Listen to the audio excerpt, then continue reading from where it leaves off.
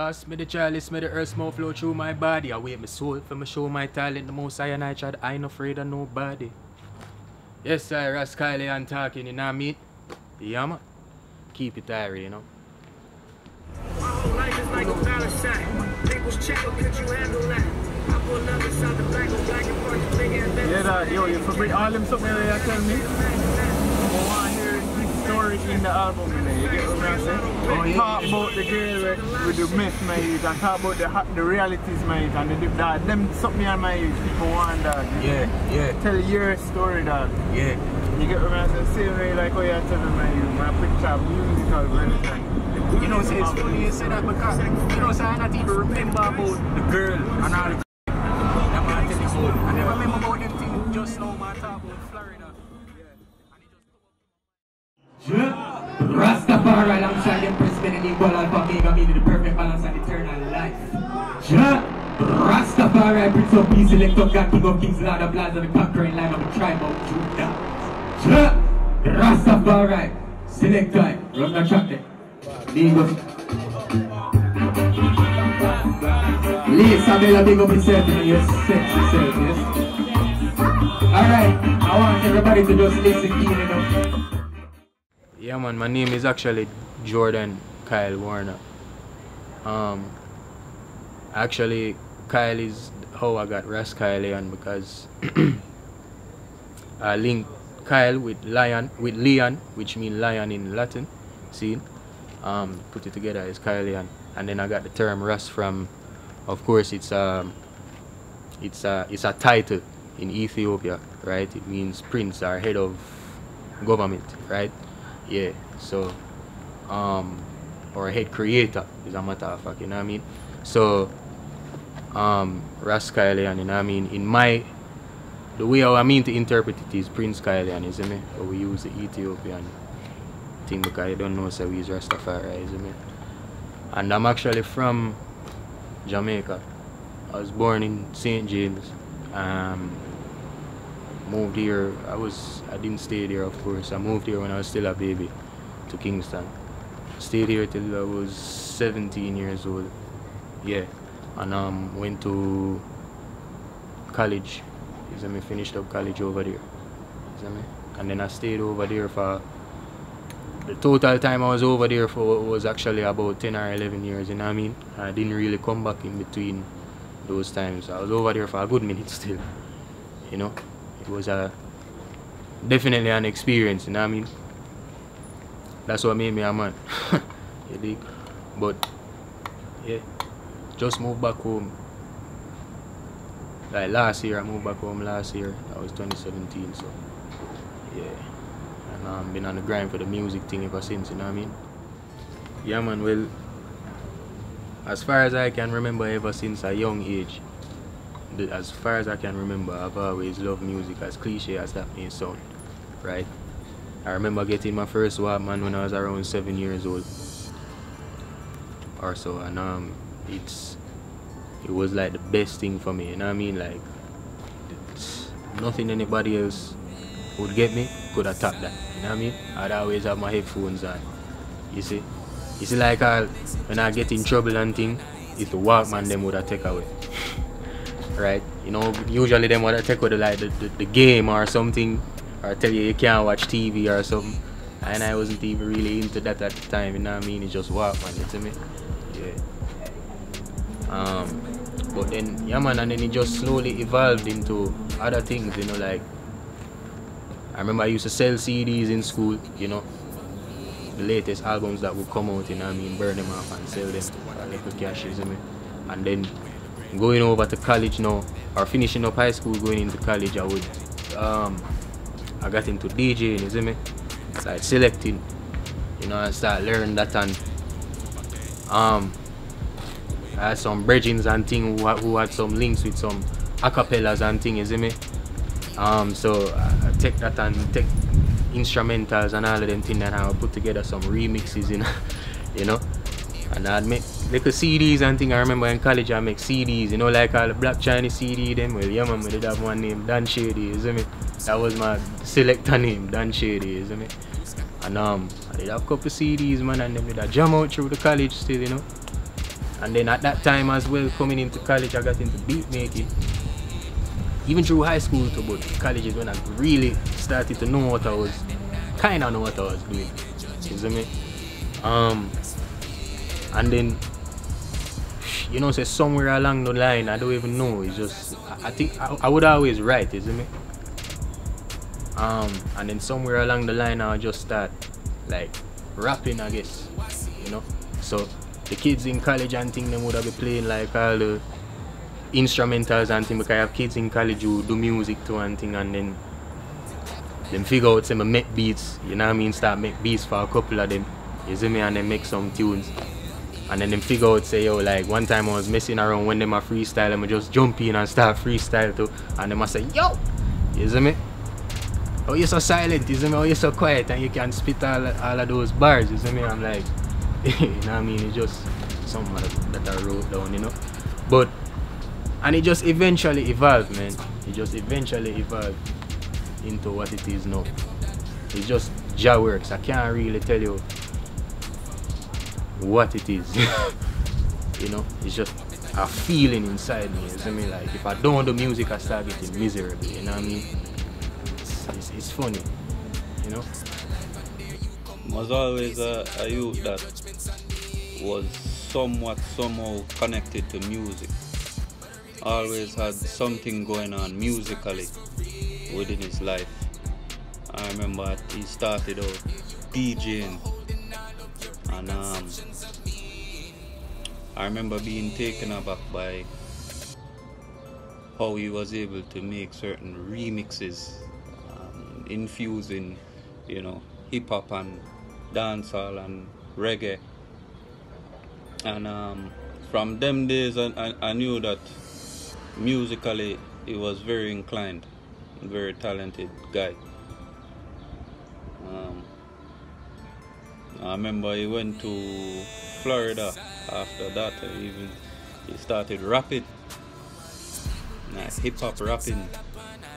And um, I remember hearing a couple of him songs and, and being like yeah man this, this man this man has to do something in the music field. It doesn't matter where it is what it is what genre what what kind of if I'm playing an instrument or whatever it may be, I always knew that yo, that brother have to be in music, involved in music in some way, somehow. So I'm not even surprised to see the direction that he's taken now.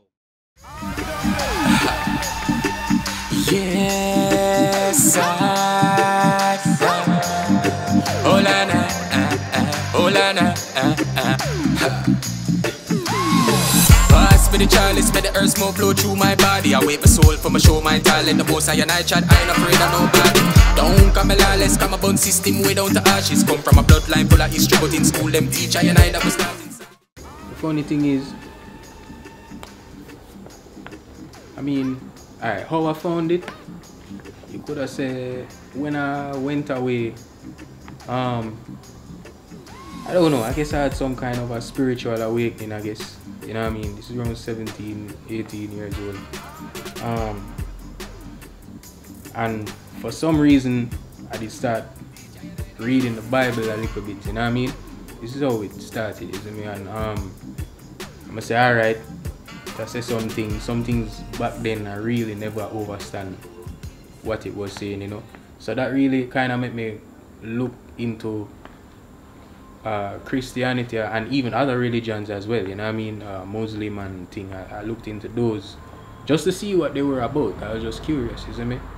And um, as far as all Christianity and thing, I really never, you can say I never understand um, how or why they would the, the modern day Chris, Christianity, the Western Roman Catholic and Baptist and Anglican and them how, how they were founded, you understand? Like it's founded off a murder really, isn't it? Like from the crusades, I mean then you go to this bridging name, um I think his name was like uh, John Newton or so and the, the same tune as according to my research, is the same tune what them be singing in church um, Amazing Grace, you see me?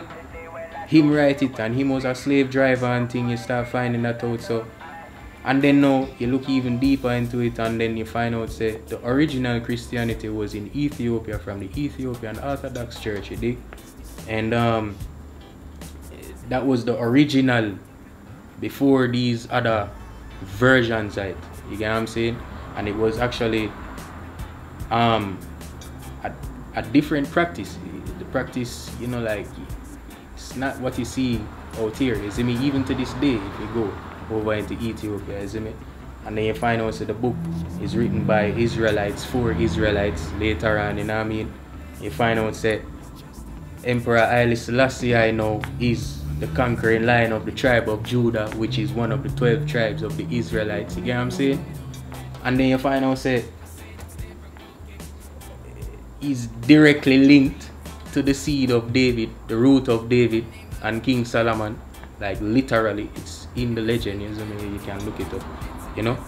And you find out all of them things, and I, I guess my spiritual awakening uh, correlated with that. You know what I mean?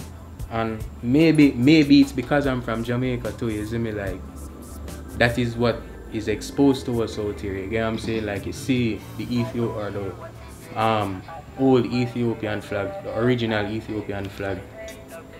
Probably even more than you see the Jamaican flag, you get what I'm saying? Like it's all over the place, you dig? So probably that has something to do with it too. But um yeah, I guess you can say that is our fauna Rastafari still. When when when Ras even started growing locks, that didn't surprise me at all. You know what I mean? Because even when a man that didn't have locks, the man that was just had had certain idealistic approaches to life that it just you knew you knew that he was heading in a certain direction. So yeah, definitely definitely can't wait to see what the, the, the future holds for a man like Ras Kyleon. Alright. Well, my style of music, I guess you could say is like a urban hip hop mixed with the with the reggae, you see me like the original reggae, you know what I mean?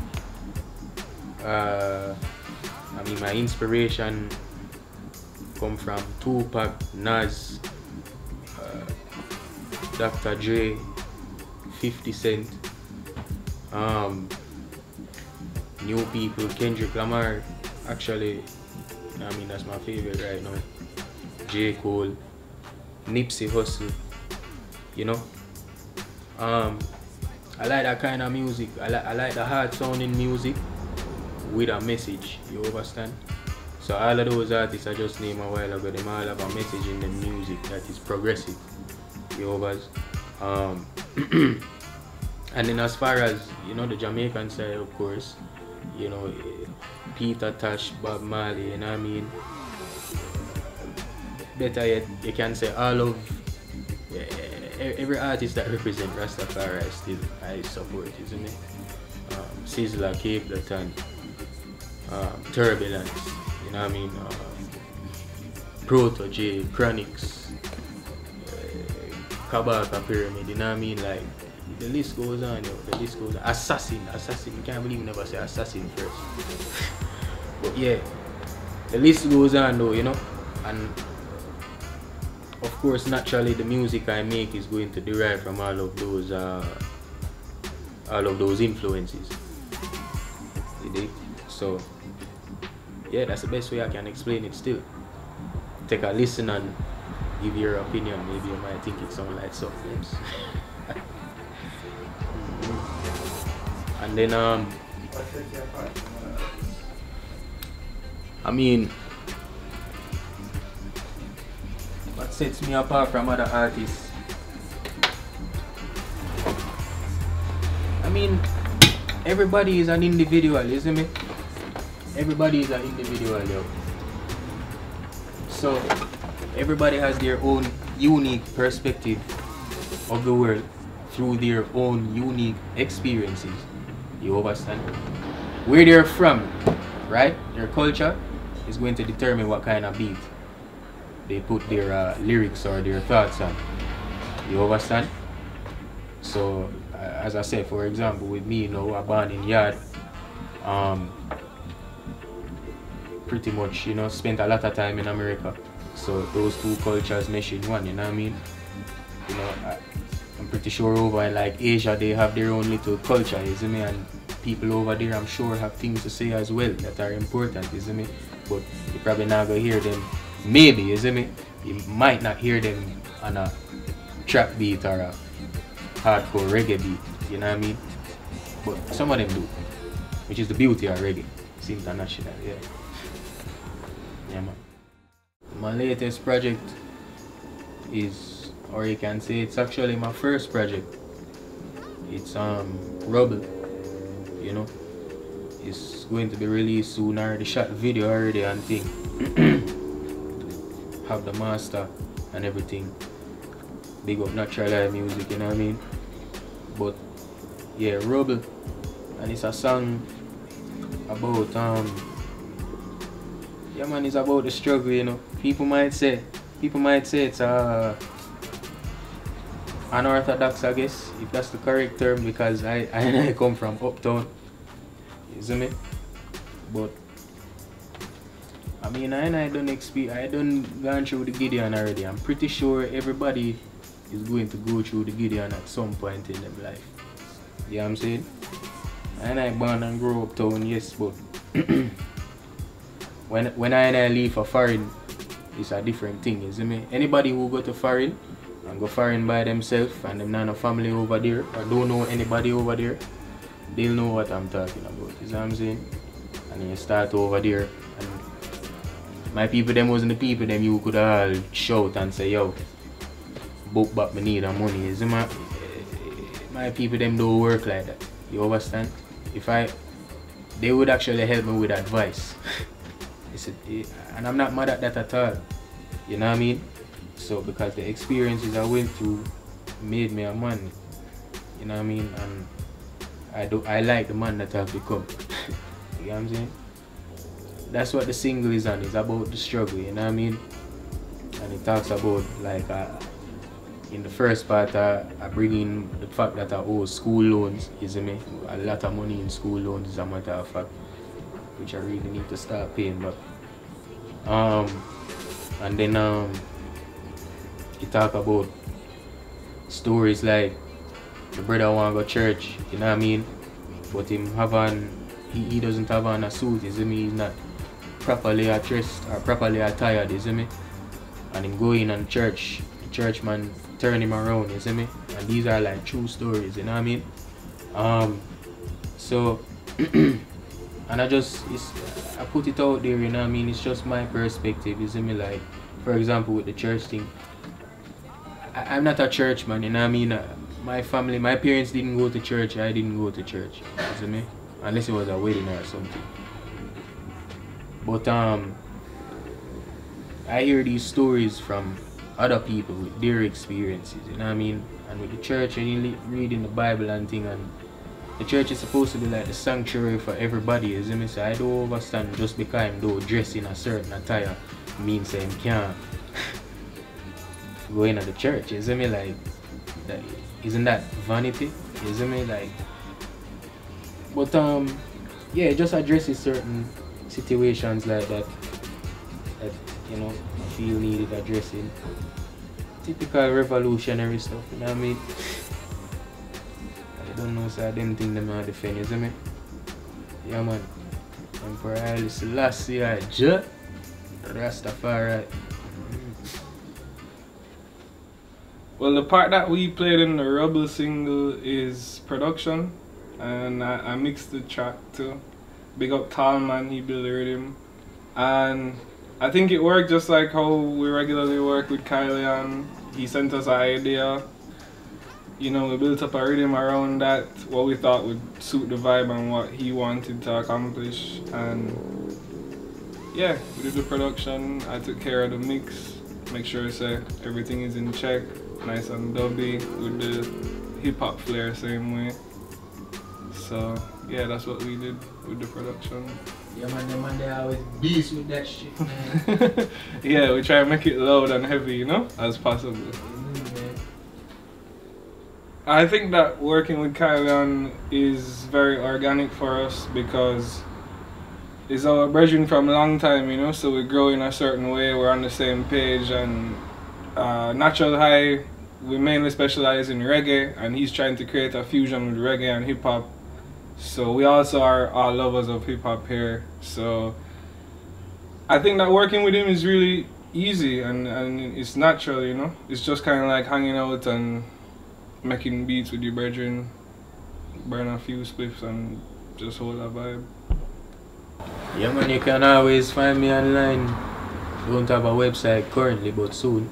You can find me on the SoundCloud. You can find me on Reverb Nation or Facebook or Instagram at Ras Kyleon. So that's R A S K Y L E O N. Um, yeah, man. I'm to follow through on thing, isn't it? Things just starting up, them getting on the up and up and thing now, which I'm very grateful for. Give thanks for that. Um, so yeah, don't know, say Ras Kyleon is a new thing, you know what I mean? yeah, man, Rastafari, I don't know still.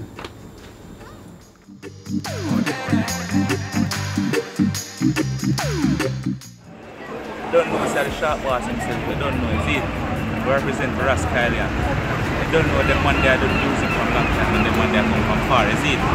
So I just want people them just look out for him album, look out for song when him drop is it? They don't know say yo, you know the rugged, and a normal thing. And Ras Kyleon I come from long time, is it? And him a bring positivity to the world, you know what I mean? With the music and we just want the people to embrace that, you know what I mean? I know say, oh, yo, Ras Kyleon I come take over the reggae market. So, I don't know. Peace.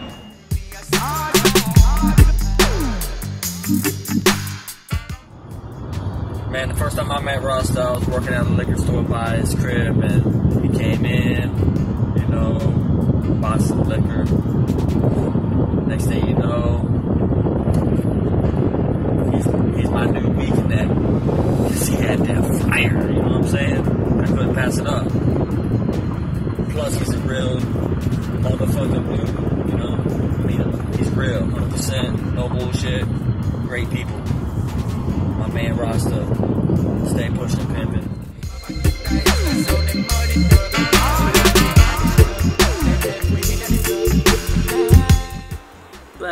this your girl Selectra Smiley with the Everlasting Sound hailing from New Jersey currently. I'm from the Virgin Islands and I had the privilege of meeting Ras Kyleon my freshman year of college, which was in 2008. That's 10 years ago. Don't feel that long because honestly, when I met him, he was one of those people that I felt like I knew them already. Um, and to be able to be a part of his growth has truly been an honor.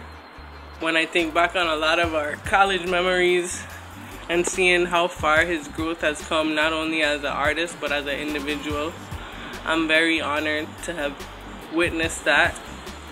He played a very crucial role in my life. My freshman year of college, being in a new place, coming from a small island, and then meeting somebody that kind of was going through the same thing. We both had a heap of loans, so we both empathized with each other on that. Um, I, I remember when he got his first car and how happy I was because I used to remember us talking about, you know, when when that time comes he will get a car and to see it come to life was awesome.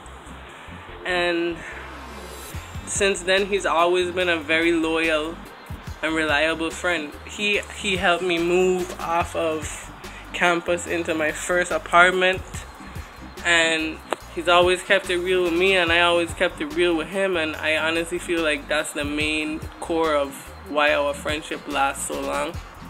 And I, I can't wait to see what else he does. And I look forward to continually pushing this my music because that's the whole point of me becoming a DJ was to push my friends and to push the music that I feel that people need to hear instead of this mm, I don't even want to call it rap because I don't even feel like it's rap anymore. But um you don't hear lyrical talent anymore, in my opinion. So, to be a part of Ras on journey is very, very um, humbling and it's very honorable. And I hope the world is ready and look out because Smiley gonna be playing them tunes left and right. And don't give up, Ras Kyleon, because your time coming soon. Selectra Smiley says so.